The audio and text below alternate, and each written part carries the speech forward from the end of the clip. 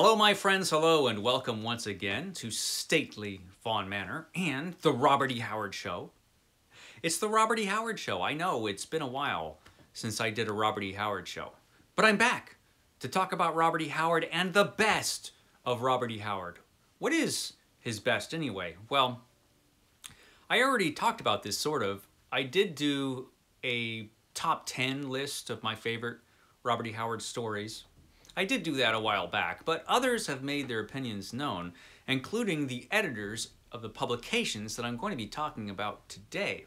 I've got three different publications, including the first major publication of Robert E. Howard's fantasy and horror, which was the Skull, uh, Skullface and Others. It was Skullface and Others, edited by August Derleth and published by Arkham House in 1946, if I'm remembering right. Arkham House, of course, is the small press that originally published H.P. Lovecraft's fiction in hardcover. And they also published a bunch of other great pulp and horror writers and fantasy writers, including Clark Ashton Smith, Algernon Blackwood, and a lot of others.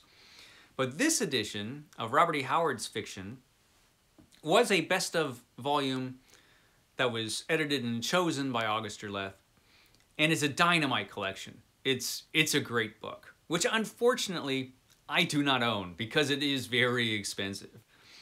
But but I do have the British reprint of it. This one, this is the Skullface Omnibus. They retitled it the Skullface Omnibus. This was published by Neville Spearman. This edition is from 1975. Has a fella on here that looks a little bit like my pal Roger. But it's a cool book, and I don't know why they retitled it, because if you go to the title page, it is Skullface and Others. And this is actually just a duplicate, it looks like, of the original publication. Unfortunately, the dimensions are smaller than the original book was, which has the which has the effect of making the print pretty much the smallest of any I've ever seen in any book. It's tiny, man tiny little print in this book. You need your glasses to read this one. But it's fantastic because Derleth made some great choices. And it's an excellent collection of stories. It also has a couple other things in it that makes it interesting. I'm going to go to the introduction by Derleth just to give his thoughts, to, to read you some of his thoughts about Robert E. Howard and his best stories.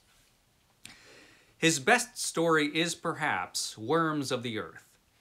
Though many of his contemporaries have been fond of The Black Stone and The Valley of the Worm, as well as of other stories.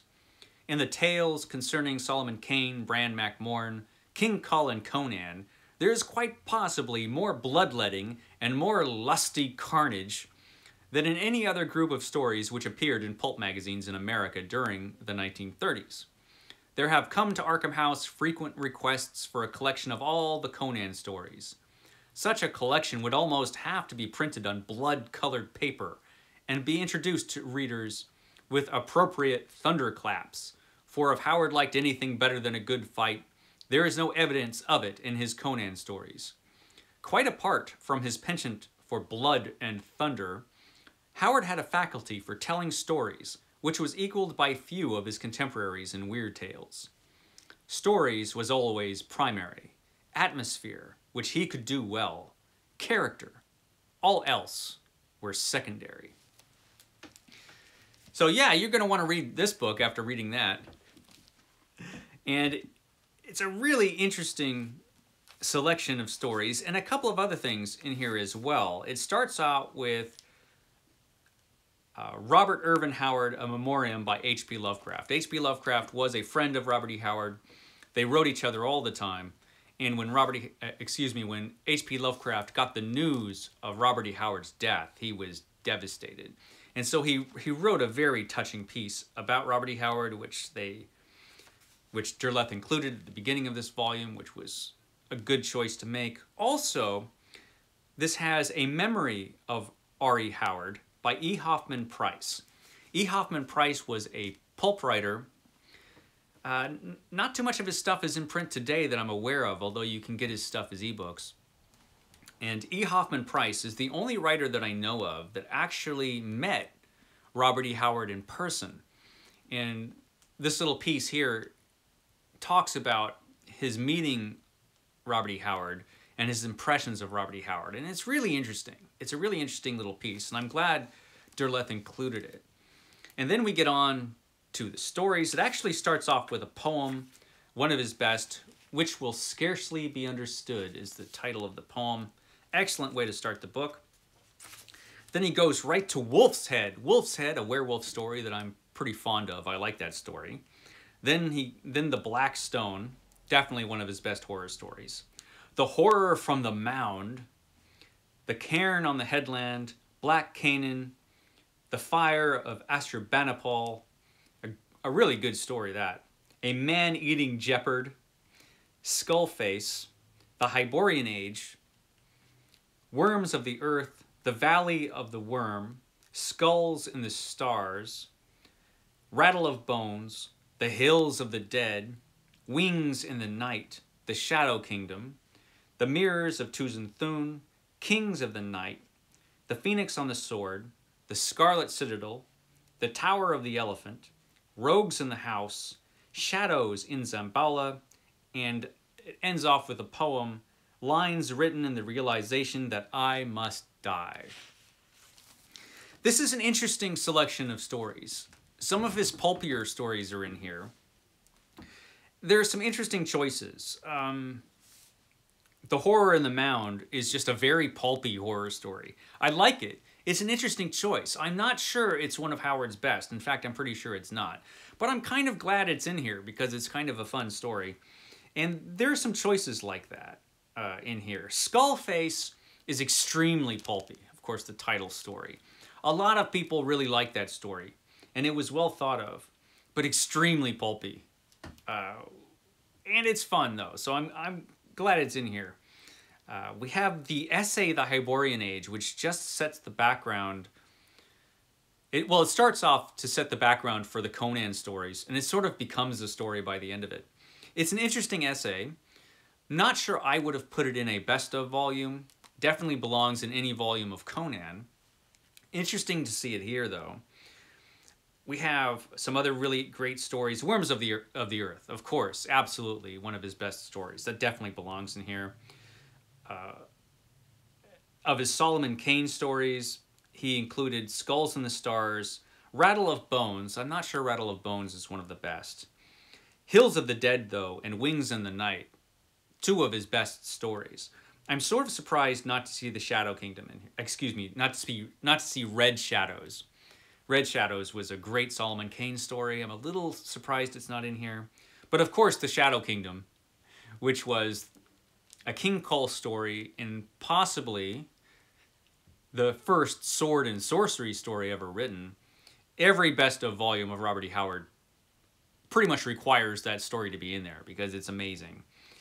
Uh, has the Mirrors of Tuzun Thun, Kings of Kings of the Night, which is the team up between King Kull and um, Bran Mak Excellent story. And then he moves into his Conan, his choices for Conan. The Phoenix on the Sword, which was the first Conan story. The Scarlet Citadel, excellent story. Yeah, that deserves to be in here. The Tower of the Elephant, one of Robert E. Howard's best, so of course that's in here. Rogues in the House, which is a story you don't see too often, or you wouldn't expect in a an anthology like this really fun story, and I'm glad it's in here. Uh, that one's excellent. Shadows in Zamboula, not one of the best Conan stories, but a fun story. And again, it's an interesting choice. And just some of the interesting choices in here. It's, it's kind of cool. This is a wonderful volume. I wish they would reprint this in a new edition. It deserves reprinting um, in in an edition that was larger and that you could actually read easily, you know, without the teensy tiny print. Like I said, this is this is great and possibly the best one volume collection of his stories ever. And for a long time, that was like the best of volume of Robert E. Howard that you can get. But in 2007, when Del Rey did their Robert E. Howard editions, Rusty Burke, a, Robert E. Howard scholar, put together this two-volume set. It's a two-volume set of the best of Robert E. Howard. Two volumes. And one volume wasn't enough. There was just too much to choose from, I think. And so he came out with a two-volume set. The first volume is the Best of Robert E. Howard, Volume 1, Crimson Shadows. And volume two is Grimlands. Now this is probably the definitive best of volume, if there could be such a thing. But it's if you put them together, it's pretty giant. It's over 900 pages if you put both of these together. So it's a giant best of. And I, I think it might possibly have been a mistake, I think, to do it in two volumes. One of the good things about a best of volume is it's something that if somebody has never read Robert E. Howard before, this would be something you can just hand to them and say, hey, check this out. And maybe a two volume set is a little bit much for that. But I can't fault the contents of these volumes. I mean, there's just, there's a ton of stuff in here. I also like the artwork by Jim and Ruth Keegan. This is uh, an illustrated edition, and uh, all the stories are headed off by just great illustrations, and they're just wonderful illustrations throughout the volume. Uh, very stylized, but very cool. Um, it's it's fun stuff, and one thing about this collection is it does give a pretty well-rounded view of Robert e. the extent of Robert E. Howard's fiction. You have his fantasy, you have his horror, you have boxing stuff in here, you have historical stuff in here. So the two volumes has, I mean, they, ha they have everything. And so let's go through it. What did they choose? So this is the first volume, and there's a bunch in here because this book is, just the first volume alone, is what, 500 pages almost? Yeah, it's yeah, 501 pages. So let's take a look. So it starts off the way a collection, a best of collection should start. It starts off with the Shadow Kingdom, which I just talked about.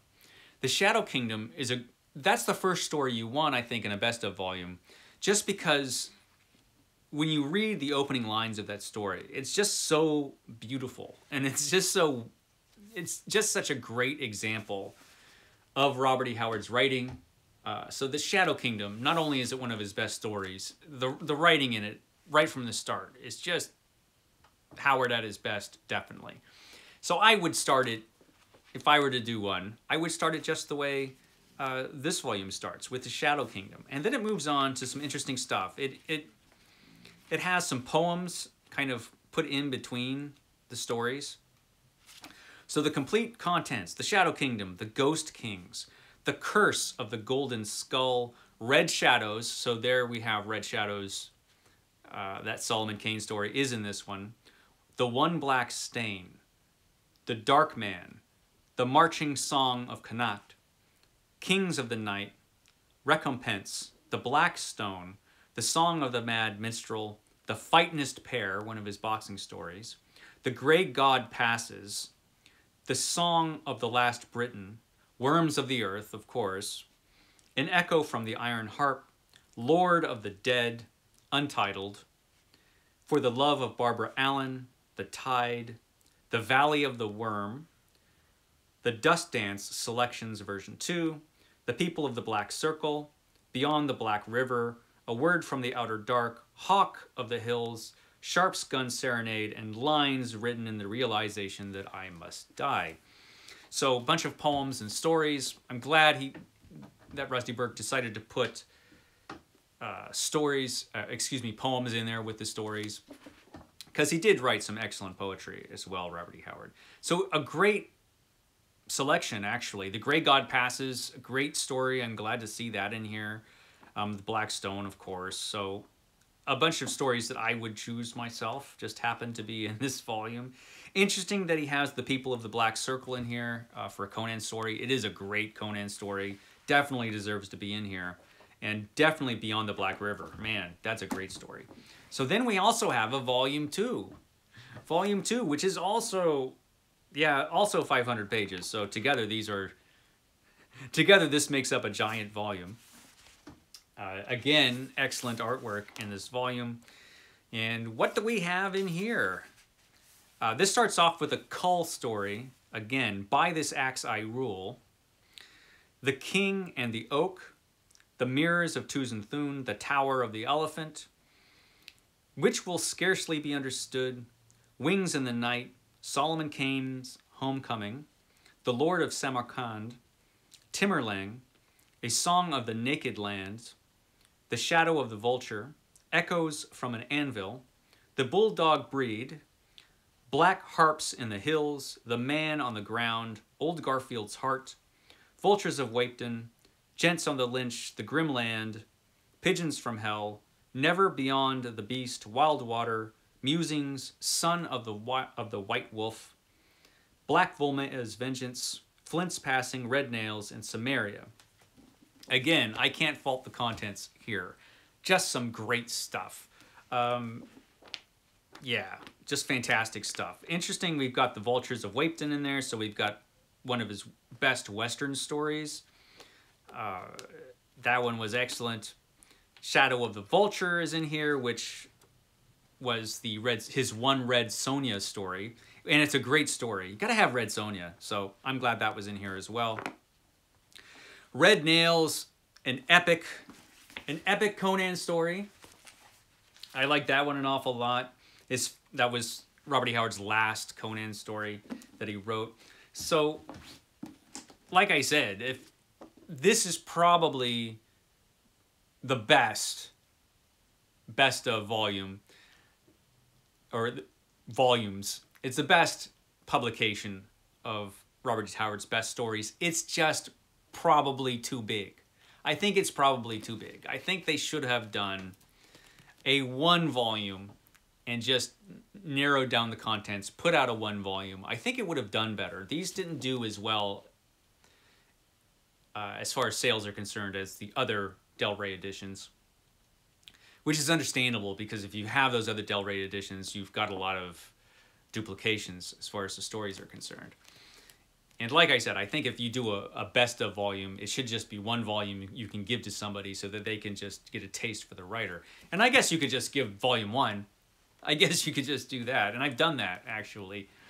But yeah, it's magnificent. This is a magnificent set of books. So there is that. But that wasn't all. We've also got this. We've also got Heroes in the Wind from Kull to Conan. This is from Penguin.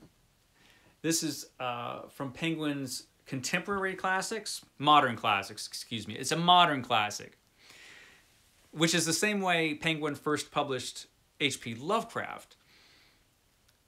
Unfortunately, this volume was never published as an American Black Spine classic in Penguin, which it should have been. I don't know why it never was. This one was published in 2009, I believe. It's a smaller book, so it is a one volume that you could just hand to somebody and they could they could read it. Uh, this was chosen by John Clute, who did a really good introduction, actually. And let's take a look at the contents of this volume, not as much in here. Starts off with a section called Black Dawn, and we have the Shadow Kingdom. So this starts off right with the Shadow Kingdom, the way you want to start off a best of volume. Then the Mirrors of Tuzun Thun, Kings of the Night, Worms of the Earth, and the Dark Man. Then section two, Dark Interlude. The Footfalls Within, Pigeons from Hell, great horror story, Graveyard Rats, and again, the Western, Vultures of Wahpeton. Then High Noon, this is Conan. This is section three, High Noon. The Tower of the Elephant, Queen of the Black Coast. I'm glad he chose that. That's great. A Witch Shall Be Born and Red Nails. So another excellent collection with some interesting choices in the middle there. I would have chosen different Solomon Kane stories. Um, so there's not too much from Solomon Kane, unfortunately, and I think that's one of his best series. But what he did choose in here, I can't fault. This is an excellent one-volume edition of Robert E. Howard that you could give to somebody, and they could read it. And they can decide whether they liked Robert E. Howard or not. And of course they would because he's amazing. Really like how it, it starts off with Red Shadows. Not Red Shadows. I always get that confused with the Shadow Kingdom. It starts off with the Shadow Kingdom, as it should. And so an excellent volume. I wish I wish there was a Black Spine Classics edition of this, and I, I don't know why there isn't. But if I were to choose, or if I were to create a best of volume of Robert E. Howard, what would I put in there? Well, I would make it a one volume edition, but it would be a fair sized one. I would start off with the Shadow Kingdom, then Red Shadows, Solomon Kane story, then Hill, The Hills of the Dead, more Solomon Kane and one of his best. And probably what I think the best Solomon Kane story is The Wings in the Night. I like Solomon Kane a lot, so I'd put a good selection in there. Then Worms of the Earth, indisputably one of his best stories, the Bran Mak Morn story.